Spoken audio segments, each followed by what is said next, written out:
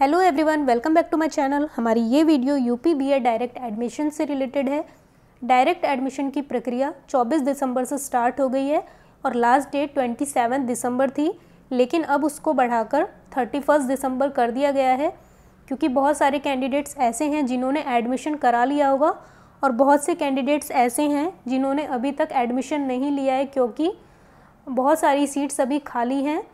तो जिन्होंने अभी तक एडमिशन नहीं कराया है, वो जाकर अपना डायरेक्ट एडमिशन करा सकते हैं।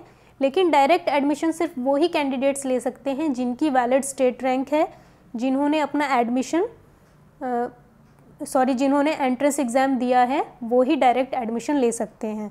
ओके? और कुछ स्टूडेंट्स ऐसे थे जिन्हें गवर्नमेंट कॉलेज अलॉट हो गया था, वो ना पूल काउंसलिंग में पार्ट ले पाए और ना ही वो डायरेक्ट एडमिशन ले सकते हैं। ऐसे बहुत सारे कैंडिडेट्स हैं। तो मैं आप सभी से ये कहूँगी कि आप ज़्यादा से ज़्यादा मेल करें या फिर सब मिलके आप यूनिवर्सिटी में जाएँ तो उसके लिए कोई एक्शन लिया जाएगा। अदरवाइज़ आपका ये साल वेस्ट हो जाएगा। नहीं तो आप उन पर ये दबाव बनाएँ कि आपको जो कॉलेज मिल चुका था, आप हमें वही कॉलेज प्रोवाइड कराएँ।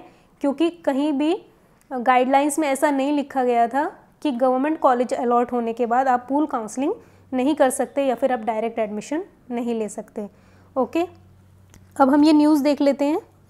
देखिए 31 दिसंबर तक हो सकेंगे बीएड कॉलेजों में सीधे प्रवेश। प्रदेश के बीएड कॉलेजों में अब सीधे प्रवेश की तिथि 31 दिसंबर कर दी गई है।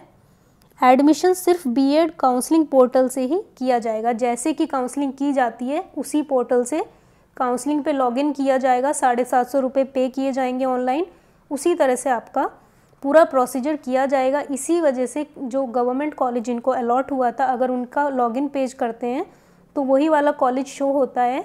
कोई नया रिफ्रेश रजिस्ट्रेशन नहीं हो पाता, यही प्रॉब्लम इसी वजह से आ रही है क्योंकि काउंसलिंग पोर्टल के थ्रू ही एडमिशन लिए जा रहे हैं।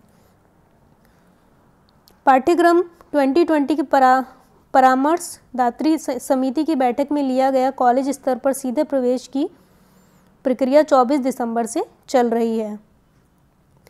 राज्य समन्वयक संयुक्त प्रवेश परीक्षा प्रोफेसर अमिता वाजपेयी ने बताया कि काउंसलिंग का यह अंतिम चक्र है। इस चक्र में सिर्फ़ वैध स्टेट रैंक धारक अभ्यर्थी ही शामिल हो सकते हैं। यानी कि जिन्होंने एंट्रेंस एग्ज़ाम दिया था, वो ही डायरेक्ट एडमिशन ले सकते हैं। कोई भी ऐसा कैंडिडेट एडमिशन नहीं ले सकता जिन्होंने एंट्रेंस एग्ज़ाम नहीं दिया है। साथ ही सिर्फ़ वे अभ्यर्थी शामिल होंगे जिन्होंने मुख्य काउंसलिंग में हिस्सा नहीं लिया। यानी कि आप ना तो पुल काउंसलिंग में पार्ट ले पाए, ना फ़र्स्ट राउंड में पार्ट ले पाए तो आप डायरेक्ट एडमिशन ईजिली ले सकते हैं। या फिर आपको दोनों ही काउंसलिंग में कोई भी कॉलेज नहीं मिला है तो आप डायरेक्ट एडमिशन ले सकते हैं। तो जो भी एडमिशन लेना चाहते हैं, उन्हें सात सौ, साढ़े सात सौ रुपये देने पड़ेंगे। कॉलेज लखनऊ विश्वविद्यालय की वेबसाइट से अभ्यर्थी के ब्यौरे को सत्यापित करेंगे, यानी कि उसी से आपका वेरिफिकेशन किया जाएगा। आपके डॉक्यूमेंट्स वेरीफाई किए जाएँगे। ओके? प्रवेश शुल्क महाविद्यालय स्तर पर जमा किया जाएगा। तो जो आपकी फ़ीस होगी, वो कॉलेज लेवल पर ली जाएगी। आपको बाय हैंड प्रोवाइड करनी है, आप इंस्टॉलमेंट में भी दे सकते हैं वहाँ पे बात करके और आपको वहाँ से फ़ी रिसिप्ट प्रोवाइड की जाएगी। ओके? तो ये थी हमारी न्यूज़।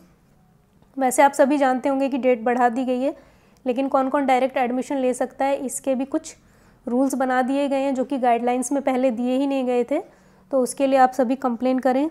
अगर आपको वीडियो पसंद आई तो मेरे चैनल को लाइक करें शेयर करें सब्सक्राइब करें। Thank you